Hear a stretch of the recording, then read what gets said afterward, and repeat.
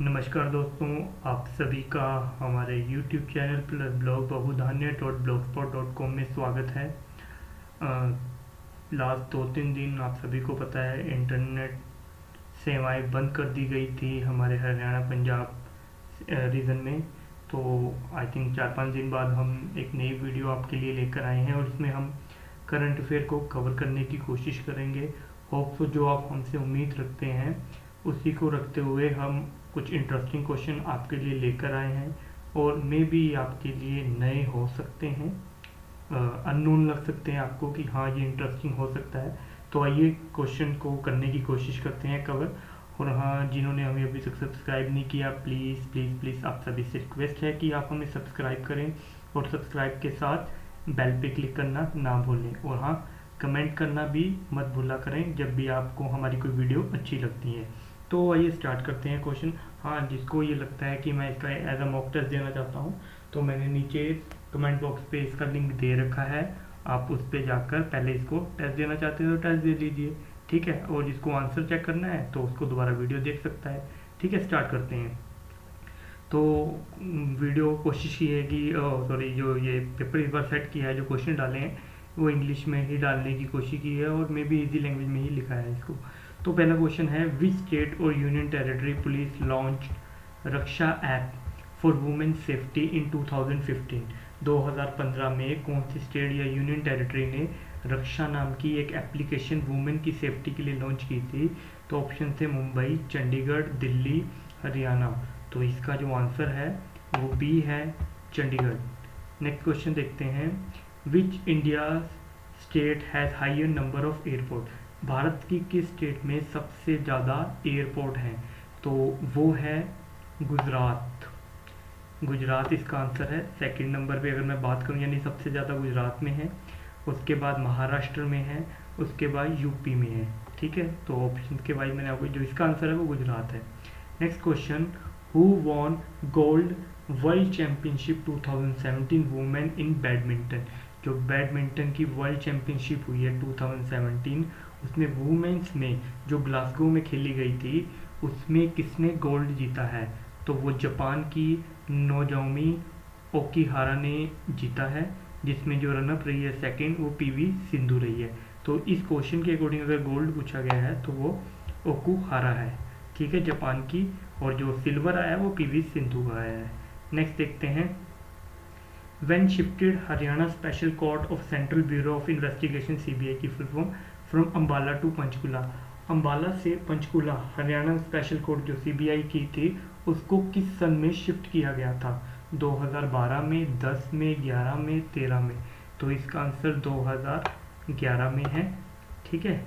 Next question Punjab CBI court को पटियाला से कहाँ शिफ्ट किया गया है? ये हाल ही में 2017 में आई थिंक इसको शिफ्ट किया गया है। तो क्वेश्चन है, Punjab court Punjab CBI court को पटियाला से किस शहर में शिफ्ट किया गया है? तो ऑप्शन है मोहाली, चंडीगढ़, खरड़, जीरकपुर। तो इसका आंसर मोहाली है। मोहाली में इसको शिफ्ट किया गया है।